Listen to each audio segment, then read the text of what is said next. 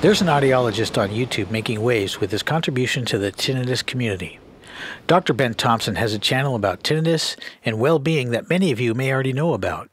I caught up with Dr. Ben for a discussion about what volume to listen to noise masking, known as the mixing point, the three pillars of helping people with tinnitus, and much more. Please welcome audiologist Dr. Ben Thompson. Thanks for having me, Dale. I'm so excited you've produced some amazing sound therapy files. And when I think about what helps someone with tinnitus, ringing in the ears, also pronounced tinnitus, it's a combination of sound therapy, the mental, emotional, psychological piece, and that well being piece. And when we can bring all that together, we see those patients who commit to that plan have the best results, reducing their tinnitus level in many cases. So, really love what you're doing and happy to collaborate here. Thank you. A lot of this was just trial and error based on what my viewers suggested. And it's taken me on wonderful journey and now you know leading me to you and other different resources to learn more about what's going on and the complexities involved with listening and the mind the most common question i get on the channel is how loud should noise masking be and so i know you call this the mixing point and so i was wondering if you could elaborate on that a little bit absolutely thank you in the field of tinnitus and audiology, we want to be as science based, evidence based as possible. That means research has been studied in previous decades looking at this same question of how loud should tinnitus masking be? In some ways, calling it tinnitus masking can be misleading because really the last thing we want to do to promote long term reduction of the tinnitus is to have your sound therapy, for example, pink noise, consistently louder than the tinnitus for your brain to reduce the perception of tinnitus over time, which is the goal. And let me, mm-hmm. let me remind us that habituation to tinnitus is a natural phenomenon where your brain can reduce the perception and awareness of this signal. And that's the best tinnitus treatment in 2022, promoting habituation. I must add the most obvious example of habituation is to pause for a second, breathe in and out of your nose, and listen for any sounds. I'm breathing very softly, very lightly. And, I, when I'm focused on it, I hear the sound. But during my normal day, 16 hours or so, I am never thinking about the sound of my breathing. So, for those who are confused, what is the goal for reducing tinnitus? Just come back to that. If your brain can reduce the sound of breathing over many years since birth, that's the same phenomenon sound, the brain's ability to change, reduce the perception of this neutral signal. That's what we're aiming for. And sound therapy is an excellent way to do that. The mixing point, let's say your tinnitus is a high pitched ringing sound and it's about a six out of 10 volume, which is significant, real. You're looking for help and you deserve to find some relief. So let's say it's six out of 10 volume and then we go on DaleSnale's YouTube channel, or you're on a different tinnitus app, or you have devices for tinnitus and you have a sound therapy level. Let's call that pink noise. Well, the true mixing point is going to be when these two are about the same, where you can just barely still hear your tinnitus and you can hear the pink noise. Now, that might be really comfortable. However, to promote habituation, we may want to just reduce the level of the sound therapy, in this case the pink noise, by a few by one or two steps so that you can your brain can definitely still perceive the tinnitus and the sound therapy is not covering it or masking it. To finalize this point, you do not want the sound therapy to be too too too soft. If you have to strain and almost barely hear it and ask yourself, am I hearing that? Then it's actually too soft and there is a point where too soft is missing some of the benefits that can take place. So, as we can see, it's sensitive, but hopefully that's a good start to guide someone for what sound therapy level they need to be at. Fantastic. Yeah. So, masking the term is a little bit of a misnomer. It's almost like the noise of, say, if you're out in the forest, you've got that, that wind in the trees that's back there, but you can still hear the birds. But I think that's a fascinating point about the breathing that there's a lot of stimulus we're taking in, and then the brain has to pick the things that it wants to focus on. I know we do this with sight too. We're not focused on everything at any given point. It's too much stimulus, so the brain kind of truncates to the critical things. And we're doing that with listening too, it sounds like in this case.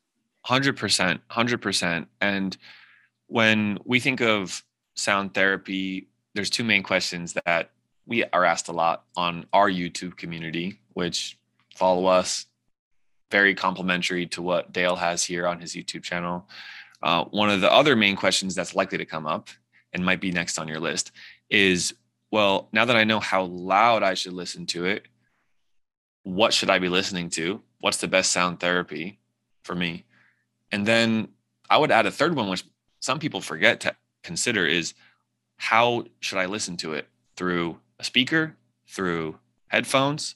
Uh, I have with me here uh, a Bose speaker. I have some AirPods. I have a phone, which has a speaker on the bottom. And then somewhere here in my home office, I have tinnitus maskers or hearing aids. So, and then we can also consider bone conduction headphones. Um, I'll add one point here, which is good sound medical advice for tinnitus from an audiologist, which is that whenever possible, try to keep your ear canals open. And hearing aids, tinnitus maskers, even though they have a piece in your ear, there's actually holes so that you're able to hear the ambient sound the exact same way as without anything on your ears. But in addition to that, you have the sound therapy. Research promotes that because consistently long term, keeping your ear canals open to hear the ambient noise will help you habituate, as opposed to using AirPods, which are comfortable and very easy, but they close your ear canals and then you're missing out of this natural ambient sound around you and only hearing the amplified sound. There's a lot of nuances, right? There really is. And it seems to be a little bit like personal preference too. I mean, as long as you're at the mixing point, it's whatever works. Some people like headphones, but they're hard to sleep on, um, depending on the type. Some people have speakers they put under their pillow. I like to listen on stereo or my phone or my laptop because I don't like to have things in my ears. I used to use a lot of earplugs riding motorcycle, and I noticed that it messes up the flow of earwax and things, and then you get some impaction, and so that caused another problem. The other thing about the Apple earbuds that I don't like is people will put them in and mow the lawn and listen to music, but in that case, a little sound goes past and so you're turning up the music so you can actually have the volume too loud to hear that so if I was using a, a weed trimmer or something like that, um, chainsaw, I might use classic over the headphone ears because they're more comfortable on my ears. I could actually listen to some music if it wasn't a dangerous tool, and I don't have to turn the volume up to to hear that. Great, great point. I would even take that one step further and saying using devices like buds that go in your ears. If you're around loud noise like construction equipment, uh, saws, mowing the lawn, using over the ear earmuffs that are designed for hearing protection over the top of that, and you can keep the levels down. Um, ah, working idea. in the music industry, I'm sure you're really familiar with things like, oh, musicians are using custom earplugs, but that doesn't necessarily mean it's at any safer of a loudness level. You still have to be mindful of the loudness level to mm-hmm. protect the hearing you do have to make sure you're not inadvertently spiking your tinnitus from loud noise exposure and things like that. That's right. And having provided sound for individuals on stage for 30 years, it almost becomes addictive, loud volume. It's like you you you experience joy and a rush from having a loud volume and then you try to get back to that and get that feeling, but you you really can't. And so you have to learn to enjoy the volume a little bit lower. And what I do here in the studio, I have these big speakers I mix in a very quiet environment. It's about 27 dB in this room, so I can mix at 70 dB. But then when I need a little a little bump, I'll turn it up for just just a, a minute or two, and then I bring it back down. But a lot of musicians just crave loud volume. So the beauty of mm-hmm. in-ear monitoring, we call it, which is basically ear molds that go in your ears, is you can bring that volume down. But it's up to you as the musician to keep that volume down and to learn to reach out and hear the sound. Yeah, there's really a lot we can talk about here with tinnitus, hearing. We had spoken earlier that if it would be okay, I would love to share some some quick results from a survey we did to our tinnitus community. That'd be okay? Yeah, let's do that. Let's do it. So we asked 135 individuals with tinnitus about their experiences with ENT doctors. Because one of the common threads that does come up a lot in the tinnitus community is that you were struggling at your worst. You found a doctor that specialized in ears. You went there, hopeful, and they ruled out a hearing loss or ruled out some medical cause and told you there's nothing I can do for you. You have to learn to live with this or figure out how to manage this and good luck. And that spikes in the emotional brain, anxiety, stress, that makes tinnitus worse. It's a, it's a very common story where inadvertently these doctors are making things harder than they have to be and are not offering a solution. So out of the 135 individuals who have bothersome tinnitus, who are in our community, uh, who responded, 41% said that their ENT doctor did not provide any information as to the cause of their tinnitus. So that creates a lot of anxiety and fear to, to think, I have this bothersome condition, but I don't even know why it's there. And the doctor who's supposed to know isn't giving me any information on it. Well, a good tinnitus specialist will tell you the likely diagnosis and cause of why it's there. So keep pursuing that information until you get a good answer. According to our survey, 47% of patients were offered no solution at all by their ENT, essentially saying, I don't have anything that I know can help you. You have to learn how to live with this. Finally, when we asked patients how likely were they to recommend their ENT doctor on a scale of zero to 10, the most frequent answer was zero. So hmm it's, it's confirming that there was there's a fundamental problem here with how many ENT doctors are approaching tinnitus care. And we love ENT doctors. They're highly skilled, perhaps undereducated on what's out there in terms of solutions and therapies and treatments for tinnitus, or at least there's an opportunity to better counsel, educate, and support someone going through this really challenging period. What this data shows us is that there needs to be better resources. There needs to be better education between our YouTube channel, Treble Health, other resources. We can do that. And that's one of the missions that we have, as well as we believe the audiologist is the best trained professional to guide someone from A to Z, from beginning to end of the habituation process. Um, so thanks for allowing me to share that the thing that fascinated me about what you're doing and Treble Health is this well-being component. So noise masking is part of habituation and helping people learn to live with it, but there's really a deep well-being component, positivity component. And so I wonder if you could elaborate on that a little bit. Absolutely. When we look at what is likely to help someone who's going through this tinnitus management process, what's actually helping real people? It's not the herbal supplements. It's not the YouTube videos that say cure your tinnitus in five minutes. It's not the finger tapping behind the, the ears. It's really none of those gimmicks that are providing long term relief and treatment for this condition. There, it, there's a triangle. There's there's three pillars that we found are extremely helpful. The primary sound therapy. We've already discussed that. The second would be cognitive behavioral techniques. And this means when we can settle the emotional response to the sound, when we can replace fear with knowledge and education, when we can replace anxiety with reassurance and support, suddenly those patients are better able to reduce their tinnitus. It does take time, no doubt. It takes real time for this process to, to take place. For the average patient, it takes six to 12 months to get to that end result. Now you can experience improvements sooner. The third piece of, of the triangle there would be well being, which we just discussed.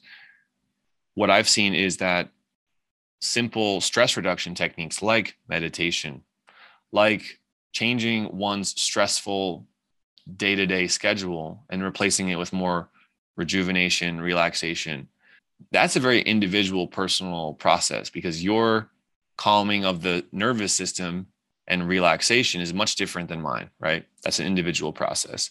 But simply to audit what are you doing hour by hour, day by day, week by week? Is that consistent with a well being mindset? Is that consistent with a well being lifestyle? And those three things coming together in our model under the guidance of an audiologist means that someone can go from very loud, bothersome tinnitus affecting them most of the day into a point where tinnitus isn't a big problem in their life anymore. They're able to manage it very well. Oftentimes, the sound gets softer too. So, I want everyone listening to really reflect on okay, I'm on this channel here with with Dale. Am I too focused on sound therapy and neglecting those other areas? Or maybe I'm really new to sound therapy, but I've been getting uh, cognitive behavioral therapy and I've been doing meditation, but I've been neglecting sound therapy. So all of them come together. Yeah.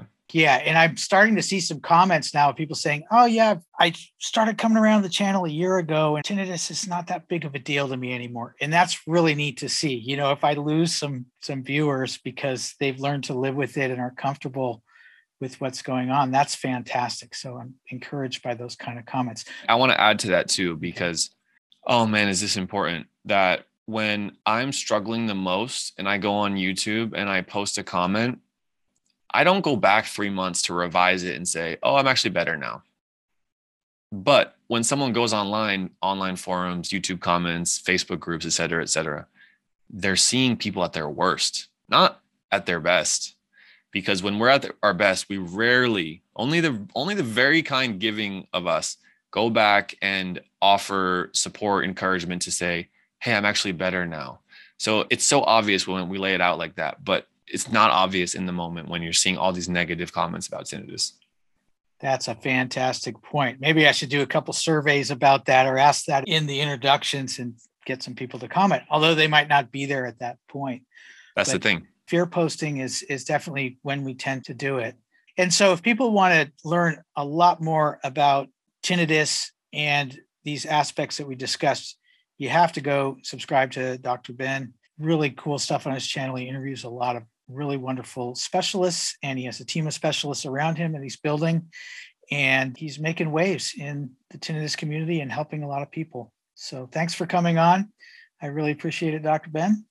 Yeah, thanks, Dale. I really appreciate you as well. Um, if anyone has a, a, question for me, you can head over to our channel. Just really appreciate the opportunity. And again, just a final word of hope is that whether you've had this condition for three weeks or three years, your loudness of tinnitus is not set in stone. Your brain can change in a positive way. And a big part of that is for you to get the right approach lined up and to commit to it and it does take time, but I've seen it over and over again. I'm surprised by how people can improve given their circumstance, which may be really challenging, or they've had tinnitus for a really long time, or it's really loud, or other medical complexities, yet still they can improve. So remember that. Thank you. Thank you. We'll talk soon. All right. Thanks, Dale. Bye, everyone. Bye bye.